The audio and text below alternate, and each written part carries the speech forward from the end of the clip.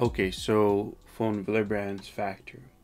So von Willebrand's factor is produced uh, by platelets and also endothelial cells.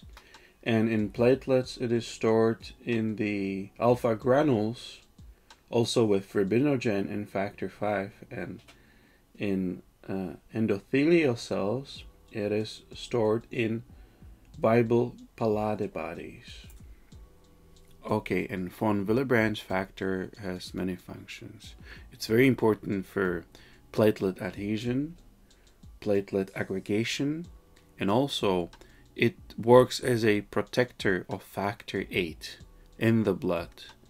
Because normally factor 8 from the coagulation cascade has a very short half-life and it's very easily degraded by the enzymes that are in the blood. But if it binds to von Willebrand's factor, the half-life of the factor 8 significantly increases.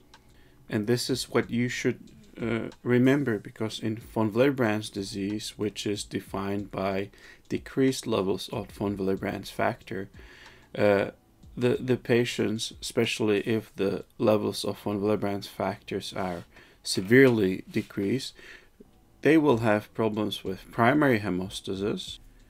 But not only this, but also because the factor 8 will be decreased, they will have problems also with secondary hemostasis, and these cases could bit resemble hemophilia.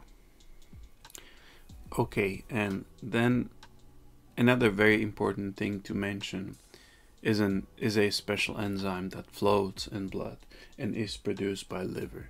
And this enzyme is called ADAMTS13. And if we talk about the, the life of von Willebrand's factor, actually, when it is born, when it is produced, it's produced as a huge molecule, huge polymer, which uh, which floats in the bloodstream. But thanks to this enzyme, this ADAMTS13, it is cleaved into small pieces. And this is physiological. We because we want a small, short von Willebrand's factor floating in our blood. And why I am mentioning this? Well, because uh, there are people with decreased levels of this enzyme, and it could be inherited or acquired, doesn't matter. But the result is that their von Willebrand's factor is huge. It's a huge polymer floating in the blood, and unfortunately, this triggers mainly thrombus formation. And this disease is called TTP, which stands for thrombotic thrombocytopenic purpura. And we're going to talk about this later. And another interesting thing is that uh, patients with uh, blood type 0 they have very likely bit decreased levels of von Willebrand's factor. Thus, they are a bit more prone for bleeding in contrast to the other types which could be maybe bit protective in in in in higher age and last thing to mention is uh, actually action of desmopressin which is a it's a drug it's a analog of ADH and uh, what we see is if you give ADH it forces the endothelial cells to release um, von Willebrand's factor thus you can use it in von Willebrand's disease or sometimes even in light uh, cases of hemophilia. Alright, so to recap, von Willebrand's factor has important function in adhesion of the platelets, in aggregation of the platelets. Also, it protects the factor 8.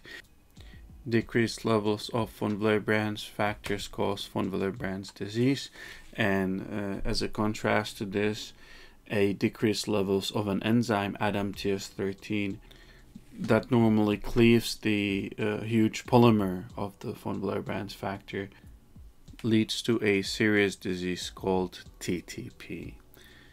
Also, uh, last thing to remember, in some cases with decreased von Willebrand's factor, you can use desmopressin to to force the endothelial cells to release the von Willebrand's factor.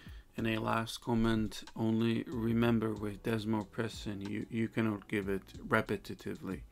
You, you have to give some time uh, to the endothelial cells to produce it again. So you can you can do use it once in a few days or, or weeks. So we're done with this part, so let's erase it and we're gonna continue with platelets. So, thanks for watching, and don't forget to subscribe and ring that bell. And as always, check the description below for supplementary questions and other materials.